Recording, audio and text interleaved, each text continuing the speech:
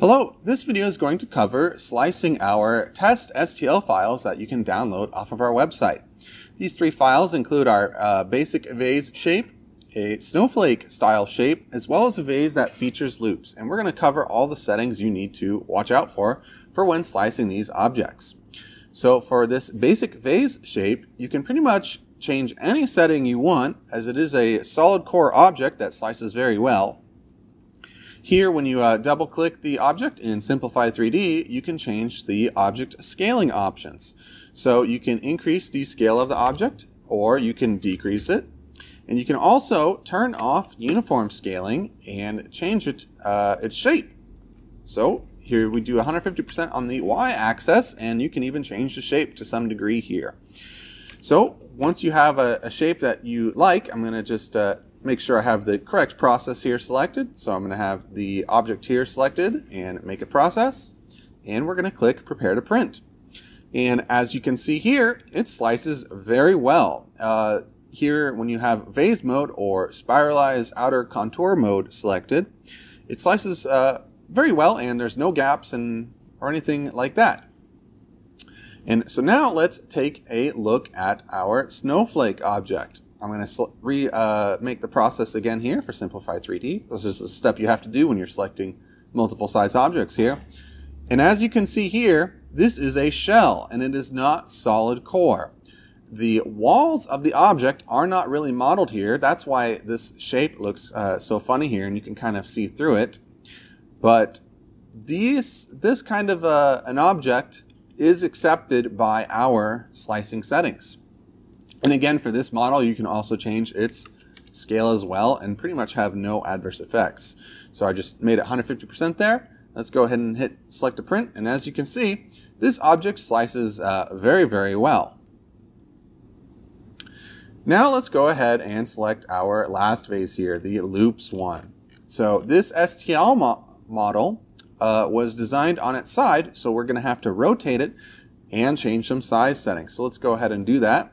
So as you can see here, it'd be nice to flip it on the x-axis. So let's go ahead and do that. And that was the incorrect way, so let's go ahead and give it negative 90 degrees.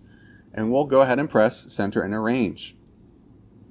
And sometimes, depending on your object size, sometimes even hitting center and arrange may not center it, so you may have to even move objects around to be in the center. As you can see here, I'm manually moving the object around. Let's go ahead and make sure we have the correct process selected. So we'll make a new process with loops. And we have a 5 millimeter nozzle on our 10 Pro profile. And let's go ahead and hit prepare to print. And at first glance, this does appear to slice very well. So as you can see here, this object seems to slice very well. So at the object's current size, with a 5 millimeter nozzle, it looks like this piece will print uh, very beautifully. But let's go ahead and say you did not want this object to be this large, and we reduce the scale 80% across the board. And now that the object is only uh, 328 millimeters tall, which is around, you know, uh, 330, uh, 33 centimeters, let's go ahead and click Prepare to Print. As you can see now, all of the loops have disappeared. This is because these loops are now smaller than the nozzle size. So uh, you can use a smaller nozzle on the printer and change the nozzle size here on, well, let's say let's do a 3 millimeter nozzle, you can still print this object with a 5 millimeter nozzle on the printer. Because now that we've changed the nozzle size to 3 millimeters, uh, the slicing software interprets the loops correctly again, and it looks like this would be still a good object to print. But since we have a 5 millimeter nozzle on the printer, we will have to change some flow rates around. So you can do that here in this uh, interface in Simplify 3D under the extrusion multiplier. We'll make that 1.5. And then we can try running this print. You can also do this in the printer interface under extrude controls under uh, print status while a print is running live.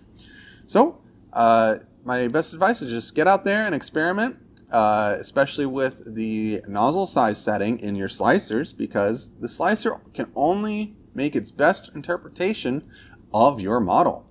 So there's just, uh, you need to get out there and kind of experiment with your own models and your own nozzle size settings and your own flow rates and see what works best with the material that you are working with.